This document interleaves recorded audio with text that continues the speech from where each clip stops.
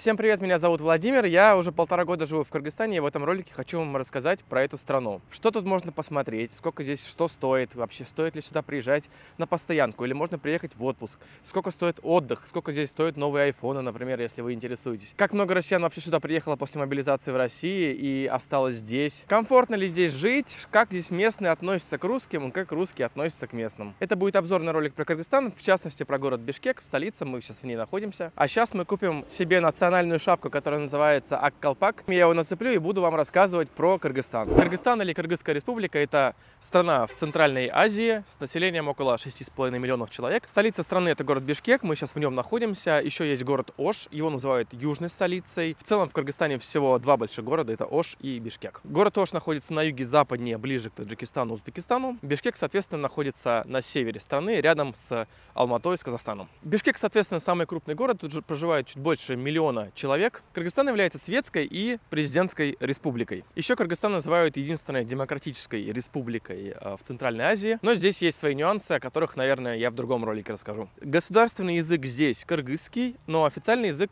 считается русский. Основной официальной денежной единицей является кыргызский сом, но иногда можно встретить цены в долларах, например, на жилье, либо на машины, либо на какие-то дорогостоящие покупки. Про цены тоже очень интересно. Здесь э, россиянам будет очень привычно, потому что кыргызский сом и российский рубль практически один к одному торгуются. Если вы будете один к одному считать, вы не ошибетесь. Как говорят местные, по разным оценкам, площадь страны это практически 90-95% это горы. Горы здесь можно увидеть прямо из Бишкека. Сам город находится у подножья гор, тут очень легко можно до них доехать. Там находится очень много всяких отелей, развлечений, рыбалки, чего там только нет, там можно очень много чего посмотреть. Там там есть всякие кемпинги, а, национальные парки. Это все прям находится в 15-20 минутах от города, и можно выехать, и вы находитесь в горах. Здравствуйте.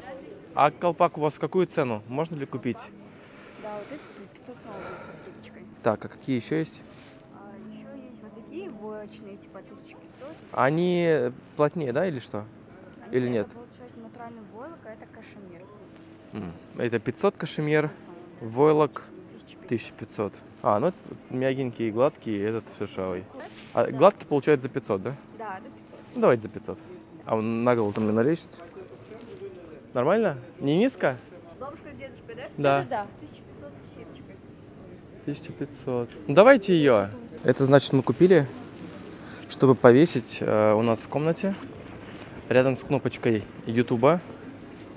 Надо будет придумать, как повесить. Стоит 1500. Очень красиво. Это деревянная палочка. Здесь, ну, в общем, это прям такая вышивка. Э, выглядит очень супер. Повесим на фоне. Мне кажется, будет очень красиво. Почему все такое мутное? Это как раз таки смог сегодня. Сегодня на улице минус 8. Это один из редких дней, когда вообще есть какой-то холод, какой-то мороз. И то, что солнышко такое вот кругленькое и не засвечивает камеру, это потому что все небо в смоге, в дымке, и оно как бы как фильтр для солнца, и, собственно, можно хорошо снимать видео. Это единственный плюс смога в Бишкеке. Мы вот купили Аккалпак, мы купили картину. Я ее повешу у себя на фоне а, в студии, где снимаю ролики для Ютуба. Тут, само собой, полным-полно всяких кафе, ресторанов, заведений, чайханы. Это все прям здесь в порядке вещей, этого здесь очень много. Вы здесь никогда с голоду не умрете, если вы прям гуляете по городу и э, хотите куда-то зайти покушать. Это не как в Москве, если у вас нет там много денег, вы не, не можете себе позволить пойти в ресторан, вы идете там в ближайший KFC, Макдональдс и кушаете. Нет. Здесь за полтора года проживания в Бишкеке я последнее, наверное, куда я могу зайти, даже когда у меня нет денег. Это KFC, потому что ну, здесь просто не хочется этого фастфуда. Вот просто убейте меня. Тут настолько много разных интересных, вкусных, красивых заведений и национальных, и местных, каких-то иностранных э, с разными кухнями мира. Вас просто не будет тянуть э, ни в какой, ни Макдональдс, ни в KFC, ни в Бургер Кинг.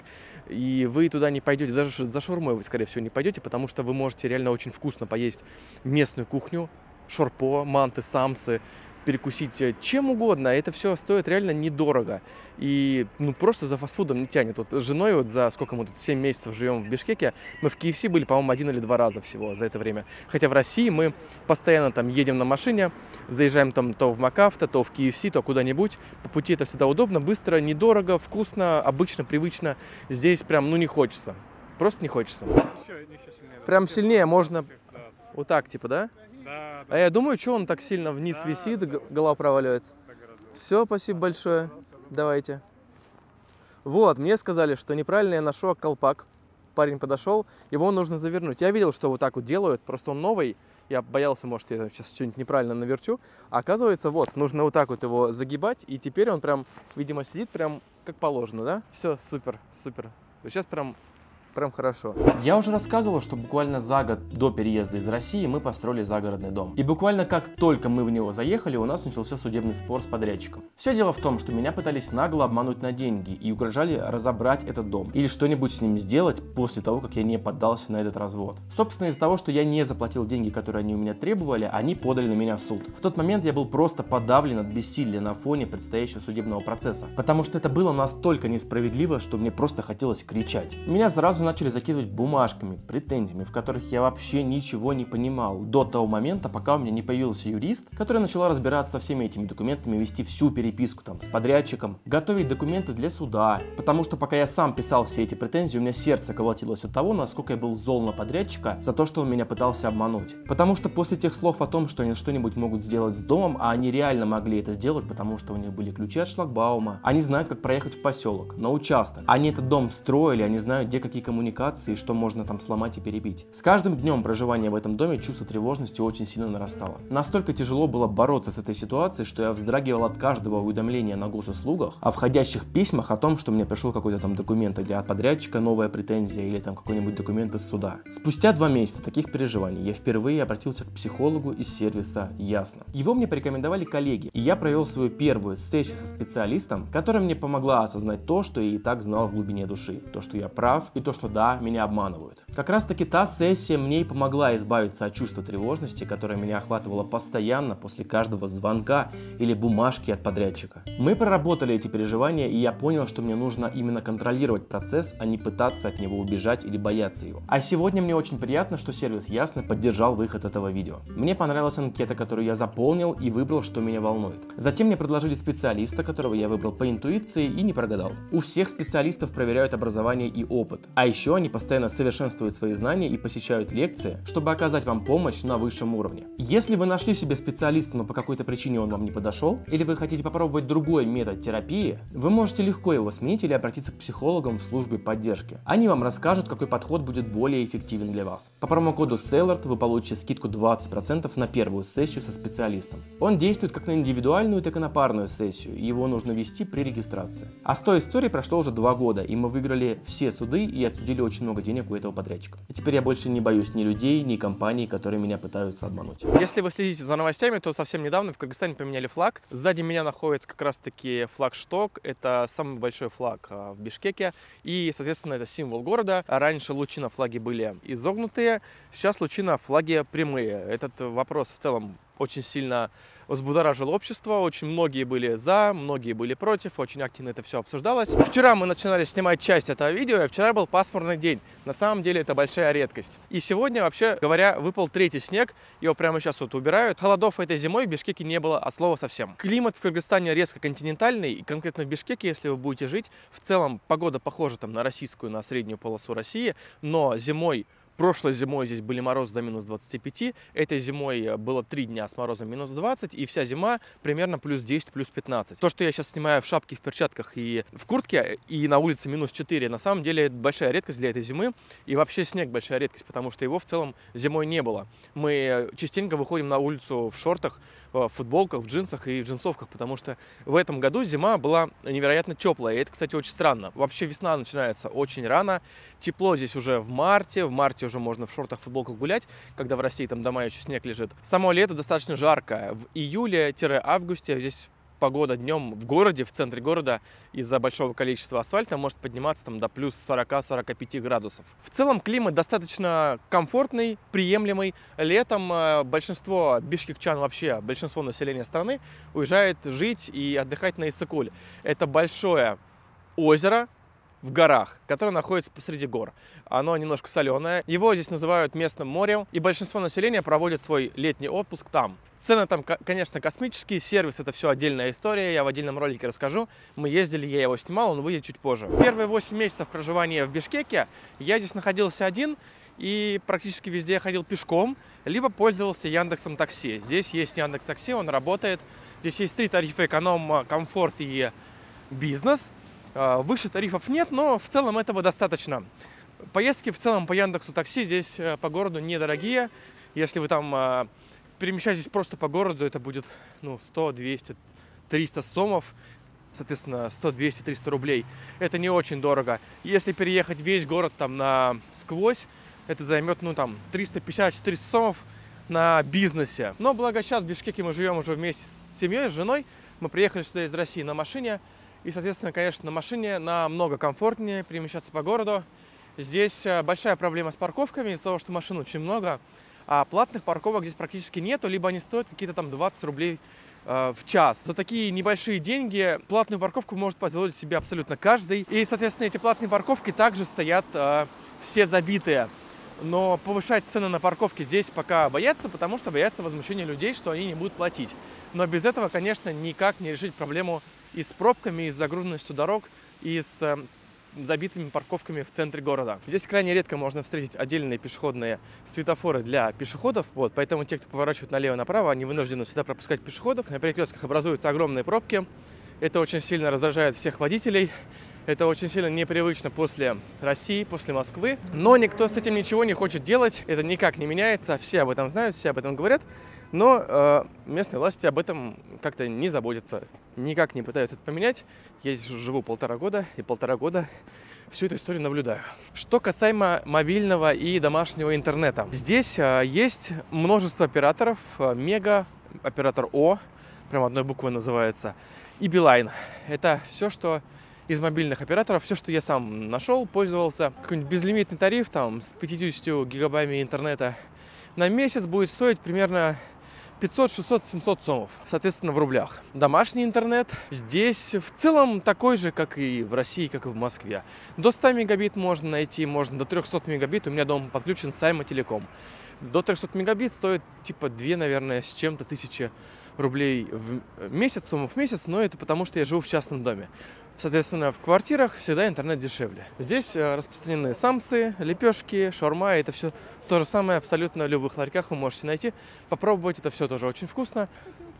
блогер? Здравствуйте, да. Ой, можно вас обнять? Да, можно, конечно. Вы очень интересно и увлекательно рассказываете. Спасибо большое. Сфоткаться, может, хотите? Да, Давайте. Да, да. Конечно.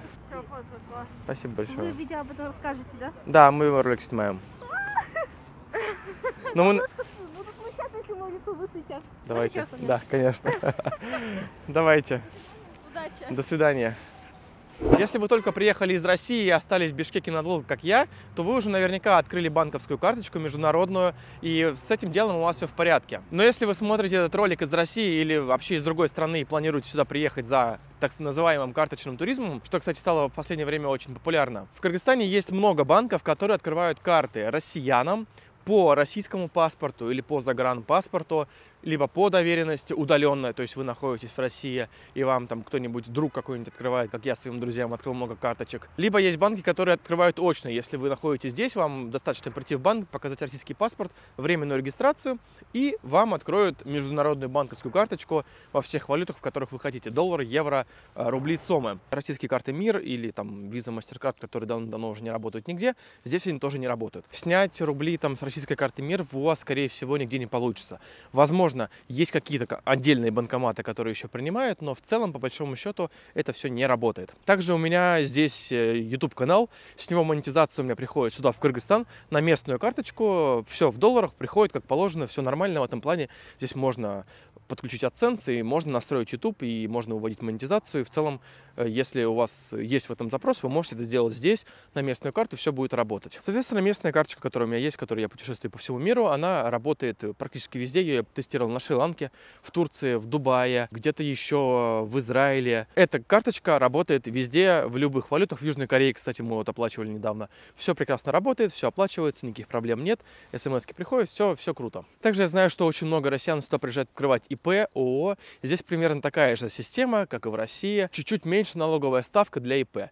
Например, в России ИП это 6%, э, здесь ИП у меня 4%. Есть виды деятельности, на которых налоговая ставка вообще 2% или 1%, и так, так можно тоже открыть ИП, и тоже можно работать, и вести бизнес здесь, получать там иностранные платежи, иностранные контракты, проводить их здесь. Э, в этом нет никакой проблемы. Здесь все удобно, все понятно, все привычно. Для нахождения в Кыргызстане россиянам потребуется временная регистрация. Первый месяц вы можете проживать без регистрации на основании там штампа в паспорте, загранпаспорте или посадочного талона.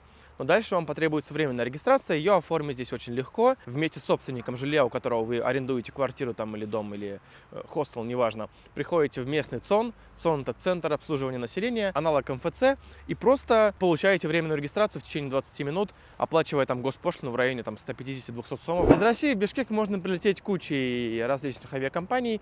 Билеты стоят в целом недорого. Если покупать заранее, так вообще там по 10-15 тысяч рублей в одну сторону. Если вы там летите на праздники или на Новый год, то конечно, цены будут выше. Отсюда можно улететь э, легко. В Дубай прямые рейсы, в Турцию, Стамбул. В общем, из Турции, из Дубая вы можете уже дальше по миру лететь, куда захотите. В целом, э, с аэропортом проблем нет. Он находится в 40 минутах от города на такси. Э, пробок туда практически не бывает. Это такая отдельная трасса, которая ведет чисто в аэропорт. Вот. Больше там ничего нет. Он находится прямо на границе с Казахстаном. Там дальше нету дороги никуда, поэтому машин большого количества там не бывает. Единственное, бывает, прикрывают эту дорогу, когда сюда прилетает какой-нибудь Путин или там другие чиновники или главы государств из других стран, СНГ и прочие там всякие саммиты, ЕАЭС, э, БРИКС и прочее вот это вот все, если здесь происходит, то эту дорогу от аэропорта до госрезиденции президента через весь город перекрывают, и в аэропорт нужно ехать по объездной дороге. Я так однажды ездил, забирал когда жену свою из аэропорта, она как раз таки прилетала из Питера в день, когда сюда прилетал Путин, и здесь наглухо просто все перекрыли. Такси до аэропорта на Яндексе, на бизнесе будет стоить ну, что-то около типа 600-650 сомов или рублей, соответственно. А, это недорого. И также вы можете поймать там кучу бомбил в аэропорту. У вас, как обычно, если вы сюда прилетите, облепят а, ребята прямо около аэропорта с разными такси. Скорее всего, это будет намного дороже, чем Яндекс, который вы вызовете сразу. Все эти бомбилы, которые вас окружают, все будет стоить в два или там в три раза дороже. Особенно если вы первый раз прилетаете и думаете, что здесь все дешево. А, вам скажут московские цены, вы и не заметите. А на самом деле все намного в разы еще дешевле. Здесь доходило до такого, что выселяли очень много местных прямо выселяли из квартир, где они жили там много годами, десятилетиями, арендовали это жилье там за 10, за 15 тысяч сомов в месяц. И из-за того, что прилетело очень много россиян, цены выросли там в 2, в 3, в 5 раз. И выселяли даже местных. Местные выселяли местных, чтобы заселять россиян, которые вот э, в моменте прилетели и нуждались э, в жилье. Даже такие истории были. Об этом я уже рассказывал в одном из своих видео. Год назад, когда я полгода здесь только провел, у меня были еще свежие воспоминания. Сейчас, конечно, все эти истории уже немножко поутихли, поулеглись. Одна из самых главных проблем города Бишкек зимой является смог. Угольная ТЭЦ города находится практически в центре города, и каждый раз она дымит на город. Несмотря на то, что местные власти всегда заявляют, что там стоят какие-то современные угольные фильтры, даже невооруженным взглядом порой видно, каким облаком накрывает город э, угольная ТЭЦ. Но на самом деле сама ТЭЦ это не самая большая проблема, которая создает смог в Бишкеке, потому что в самом Бишкеке вокруг города очень много частного сектора. Как говорят местные, есть некоторые населенные пункты или там соседние села, деревни, которые топятся, сжигая остатки от швейного производства.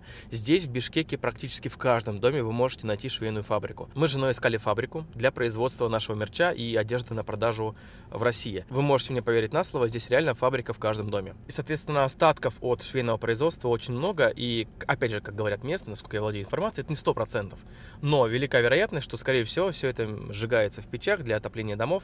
И от этого очень сильный смог идет на город, и город покрывается смогом. Но это тоже не главная проблема. На самом деле еще одна важная проблема это то, что сам Бишкек находится в небольшом котловане. Горы закрывают поток воздуха. С одной стороны, получается, горы у нас там, и они закрывают весь поток воздуха, который оттуда может прийти. И город, получается, практически не продувается. Плюс э, высотная застройка. Город активно расширяется, строится очень много высотных зданий, и это все нарушает розу ветров. Опять же, как говорят местные, как говорят экологи, это все влияет на то, что город не продувается, и зимой смог стоит а, в городе очень сильный. Бывает сильнее, бывает слабее. Здесь очень распространены всякие датчики, которые меряют уровень загрязненности. У меня такой датчик висит в доме, и мы им замеряем, и я периодически отслеживаю, какой, насколько сильный смог в городе. И даже бывает, когда очень сильный, мы не открываем окна специально. У меня дома есть специальная установка, которая фильтрует э, входящий воздух в дом, для того, чтобы мы не дышали смогом. Такое оборудование здесь очень сильно распространено, потому что есть, опять же, статистика, по которой очень много детей болеют от э, заболеваний, сопутствующих и воз, либо возникающих от смога в городе. Вот сейчас там дымит ТЭЦ, это вот как раз таки она, там две или три трубы. Сейчас дым на самом деле белый. Ну, э, многие говорят, что э, весь смог от ТЭЦ, но вот, как я говорил раньше, это на самом деле не так. Тут еще много всяких вариантов. Э, если посмотреть на дым, пар от ТЭЦ, он достаточно прозрачно белый не скажешь, что он черный. Бывают дни, когда он темнее. Я не знаю, от чего это зависит. Вот сегодня я решил реально специально поснимать для ролика и показать, что она дымит. Но вот сейчас, если так посмотреть, она в целом дымит белым дымом. То есть не сказать, что прям сильный смог идет от ТЭЦ. Здесь вам будет реально очень привычно, потому что здесь все говорят на русском языке. Это одно из преимуществ Бишкека и Алматы, и в целом Казахстана и Узбекистана. Здесь вы не найдете людей, которые не поймут вас на русском языке, если вы живете в крупном городе, либо в Бишкеке, либо в Аше. Да даже не только в городе, и за городом, везде. Все говорят на русском языке, это нормально, это привычно, здесь в этом плане все в порядке, никто не обижается, никто не оскорбляется, никто не будет вас просить поговорить там на кыргызском. Прожив здесь полтора года, я, конечно, много слов на кыргызском уже выучил. Можно, наверное, как-то уже потихонечку объясняться, но, опять же, в этом нет никакой надобности, в этом нет необходимости, потому что, опять же, все говорят на русском языке. Когда я сюда летел, у меня не было вообще никаких ожиданий. Я не думал тут ни о чем, что я могу здесь найти какую-нибудь кофейню, шоколадницу или там, я не знаю, кальянную, что угодно. Я на это вообще не рассчитывал. Но когда я сюда прилетел, я удивился, что здесь реально все есть. Тут есть любые доставки, тут есть такси, про которые я уже раньше рассказывал, разные кафе, рестораны на бюджетный карман, на средний карман, на очень дорогой. Тут есть реально очень классные, дорогие заведения, где очень вкусно. Если вы думаете, что в Бишкеке вы будете пробовать там плов, манты, шорпо и другую национальную еду, то нет, здесь можно попробовать вообще абсолютно любые блюда любых кухонь и вообще на разный кошелек. Здесь можно жить достаточно бюджетно, здесь можно жить э, и на широкую ногу. Если говорить про бюджетный вариант, вы можете снять себе недорогое жилье, не обязательно в центре города, потому что в центре города достаточно дорого стало после мобилизации в России, после того, как очень много россиян приехало. И несмотря на то, что они сейчас в основном все уже уехали, осталась, наверное, малая часть, по моим ощущениям, процентов 15 от того количества, которое приезжало сюда во время мобилизации. Но цены на жилье в центре все равно достаточно дорогие. Это была однажды трешка за полторы тысячи долларов в месяц, потом это была однушка за 800 долларов в месяц. Сейчас, наверное, хорошая квартира, хорошая однушка с нормальным современным ремонтом в нормальном доме, в достаточно так в центре прям города, будет стоить типа 500-600 долларов в месяц. Если жить где-нибудь в микрорайоне, то есть повыше, к горам поближе, либо пониже, подальше от гор, подальше от центра, то можно же снимать себе двушку или трешку, нормальную квартиру там за 300, 400, 500 долларов на любой вкус. Тут реально есть жилье на любой карман, можно жить вообще в хостеле, тут есть очень классно много современных красивых э, хостелов, которые только-только открываются, потому что, опять же, спрос на это есть, очень много туристов из России сейчас приезжает. Что касаемо еды, есть можно в кафешках и за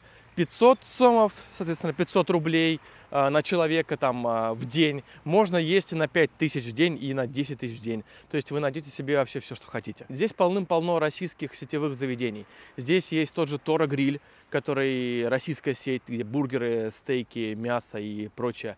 Здесь есть э, кальянное облако 53. Здесь есть сетевая кальянная мята. Я просто люблю кальянные, поэтому очень много по ним хожу. Я о них много знаю уже по Бишкеку. Если вы сюда приедете там из России, вообще из Москвы даже, то вы в целом не почувствуете разницу. Здесь есть все, к чему вы привыкли.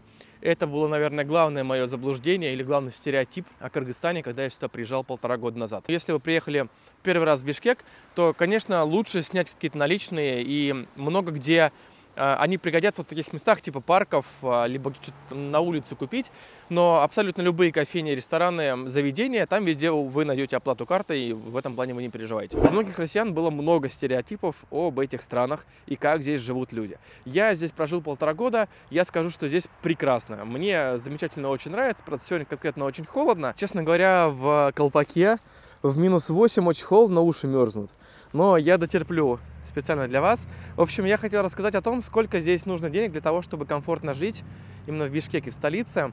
А, сейчас ситуация такая, что, наверное, если у вас не очень много денег, то, наверное, в 30-35 тысяч рублей, соответственно, вы сможете здесь комфортно жить. А, на одного человека, даже, наверное, в центре снимать нормальную квартиру, питаться так, как вы любите питаться, и вам этих денег хватит. Если вы хотите жить на широкую ногу, то с этим здесь проблем точно не будет. Здесь лично, по моим ощущениям, цены примерно такие, как э, если есть такая градация в Москве дорого, в Московской области чуть подешевле, то вот, наверное, здесь чуть подешевле. Завтрак э, в какой-нибудь прикольной, красивой кофейне с вкусным, необычным завтраком, с кофе, с десертом вам обойдется на двоих, ну, полторы тысячи сомов, а это на самом деле это всего лишь там 13, 14, 15 Э, долларов. Это очень недорого, потому что, например, в Тель-Авиве, когда мы жили, мы э, за завтрак давали по 26, по-моему, долларов на человека. То есть у нас завтрак выходил по 50, 55, 60 долларов на двоих. Здесь на 60 долларов на двоих вы можете завтракать целую неделю в целом. Зимой здесь есть чем заняться. Здесь около города, рядом с городом находится 3 или 4 горнолыжных базы, где можно покататься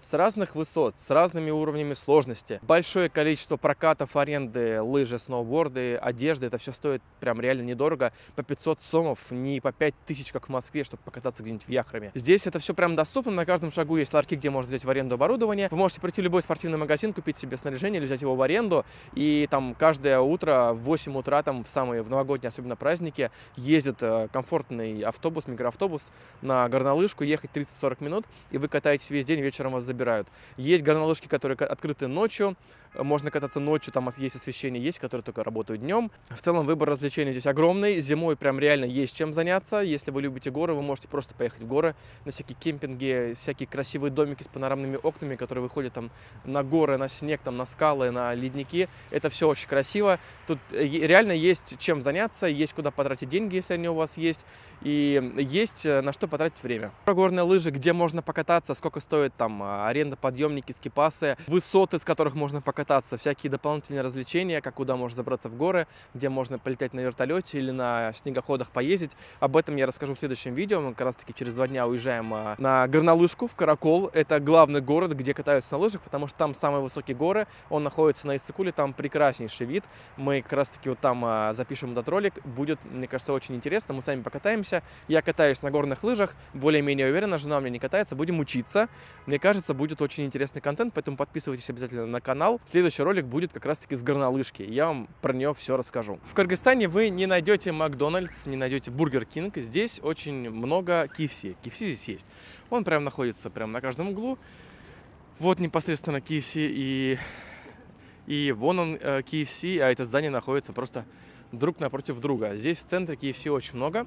Здесь курицу любят. Но как-то Макдак сюда не пришел, как-то здесь не получилось у него а, развиваться. Мы сейчас чуть ближе подошли к ГУМу, и рядом напротив него находится ЦУМ. Это два самых главных, наверное, торговых центра в городе. Здесь вы можете купить все. Здесь продаются айфоны любых марок, и китайские поделки, и настоящие оригинальные. Их сюда привозят в тот же день на старт продаж во всем мире. Из Дубая тут куча магазинов. Вообще кыргызы очень сильно, очень серьезно занимаются а, бизнесом. Поэтому магазинов по продаже айфонов, самсунгов здесь просто тьма тьмущая. Они находятся просто на каждом шагу. Во всех павильонах, во всех зданиях вы можете купить вообще все все, что себе захотите. Сзади меня находится магазин Asia Store. Это официальный магазин от Apple. Мало там кто покупает. Иногда я туда захожу посмотреть новинки. Они там появляются еще оперативнее, наверное, вообще со старта продаж с первого дня. Но они там чуть дороже. Э, понятно, там со всей сертификацией, со всеми налогами. Здесь, э, в этих магазинчиках вы можете купить. Это просто продают их перекупы, которые покупают их в Дубае и в разных странах. И сразу же самолетами привозят сюда и продают. Кстати, также здесь находится магазин Samsung. Он слева получается справа магазин Apple.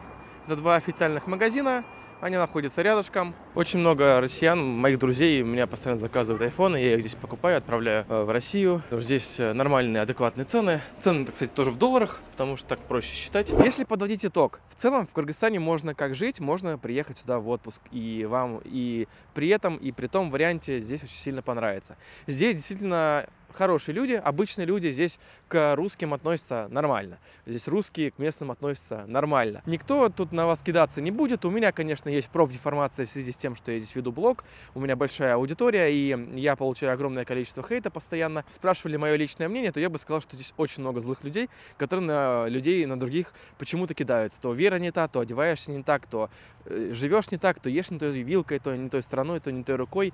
Этой рукой нужно э, кушать, этой рукой нельзя кушать нюхать нельзя. В общем, таких советчиков очень много. Но в целом, если вы со стороны приедете, посмотрите на эту страну, то вам здесь понравится. Мне в целом здесь тоже нравится. Здесь в целом людей плохих не больше, чем где-либо. Я действительно много получаю комментариев, что ты из России приехал, у вас там война, вот это вот все нацизм, Путин, Россия, это все плохо. Но э, негатива к приехавшим, что вот типа дезертиры какие-то вот там э, родину бросили, да, такие комментарии есть. Многие, кто приехал здесь, остался жить, остался работать, они платят налоги, они э, устраиваются, работают, э, получают зарплаты, тратят эти деньги здесь, покупают айфоны в этих торговых центрах, едят в этих э, кафе и ресторанах, все это идет в бюджет страны, и в целом страна развивается. Как мне кажется, дружба между россиянами, именно между Россией и Кыргызстаном стала лучше, отбросив все там военно-политические конфликты и там прочие договоренности, где там кто сколько сидит у власти, и кто там как там